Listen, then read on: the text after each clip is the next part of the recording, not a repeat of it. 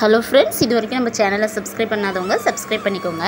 இன்றைக்கி வீடியோவில் என்ன பார்க்க போகிறோன்னா ஒரு சிம்பிளான காலிஃப்ளவர் சிக்ஸ்டி ஃபைவ் தான் பார்க்க போகிறோம் வாங்க வீடியோக்குள்ளே போகலாம் காலிஃப்ளவர் எடுத்து நல்லா அதை வந்துட்டு தனித்தனியாக உறுத்தி எடுத்து வச்சுக்கலாம். எடுத்துகிட்டு அதை வந்து நல்லா தண்ணி விட்டு அலசி எடுத்துக்கலாம்.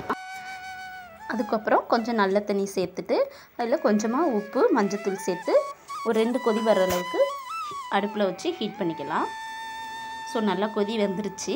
இந்த ஸ்டேஜில் நம்ம ஒரு மூடி போட்டு அப்படியே வச்சிடலாம் ஒரு ஒரு ரெண்டு நிமிஷம் கழித்து எடுத்துட்டு அதை வந்து நம்ம வடிகட்டி எடுத்துக்கலாம். காலிஃப்ளவர் வந்துட்டு தனியாக எடுத்து வச்சுக்கலாம்.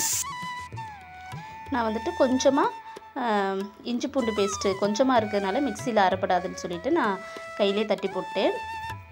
லைட்டாக உப்பு சேர்த்து நல்லா மிக்ஸ் பண்ணியாச்சு. மிக்ஸ் பண்ணிவிட்டு கொஞ்சமாக சிக்கன் மசாலா அடுத்து மல்லித்தூள் கொஞ்சம் மிளகாய்த்தூள் கொஞ்சம் சேர்த்து நல்லா மிக்ஸ் பண்ணிவிட்டேன் கூடவே வந்து கொஞ்சமாக கார்ன்ஃப்ளவர் மாவும் அப்புறம் பச்சரிசி மாவும் சேர்த்து நல்லா மிக்ஸ் பண்ணியாச்சு. ஆல்ரெடி ஓரளவு வெந்த வேக வச்சாச்சு காலிஃப்ளவர் அதனால் நம்ம வந்துட்டு உடனே கூட அதை பொரித்து எடுத்துக்கலாம். ஒரு பேன் ஹீட் பண்ணி அதில் தேவையான அளவு ஆயில் சேர்த்துக்கலாம். ஆயில் சேர்த்துட்டு அது கூடவே வந்து நம்ம எடுத்து வச்சுருக்க காலிஃப்ளவர் சேர்த்துக்கலாம். ஸோ ஒன்றா சேர்த்துட்டு நல்லா மீடியம் ஃப்ளேமில் வச்சு வேக வைக்கணும். ஸோ ஃபிஃப்டி பர்சன்டேஜ் வந்து ஆல்ரெடி வெந்துருச்சு. நான் ஃபிஃப்டி பர்சன்டேஜ் மட்டும்தான் வேகணும். ஸோ அது வந்து மீடியம் ஃப்ளேமில் வச்சு வேக வச்சு எடுத்துக்கலாம்.